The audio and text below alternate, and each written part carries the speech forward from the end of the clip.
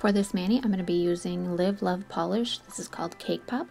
It's a beautiful pink metallic polish with scattered holographic glitters running through it. This is absolutely beautiful. Because I'm not sure how this is going to remove, I'm going to go ahead and use Unt Peel Off Base Coat and use this on all of my nails.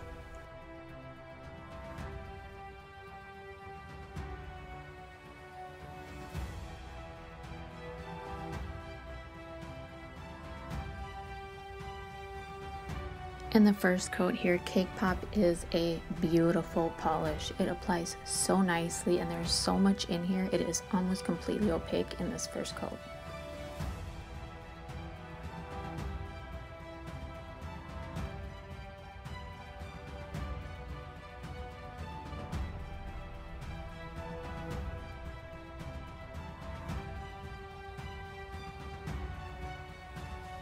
I wanted to do an accent nail, so I'm going to use Simple Colors White on Time and paint one nail.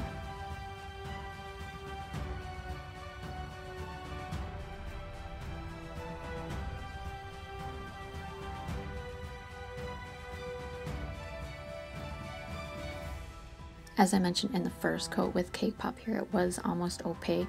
However, I did see a little bit of unevenness, so I'm going to go ahead and apply a second coat here, which provides complete opacity.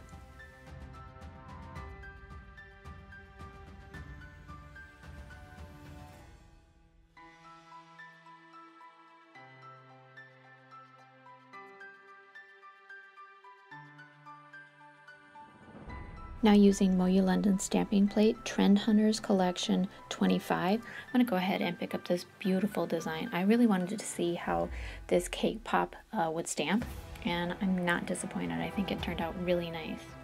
Now a coat of Vibrant Vinyl's Fast on Hard Top Coat is to seal this mani in. Now when I got to my accent nail here, I did decide that I wanted to add a little bit more blinginess. So I'm going to go ahead and take a gold flowered embellishment here and place this on the nail right over the flower that I created with the stamp. And then just finishing off the rest of my nails with the top coat.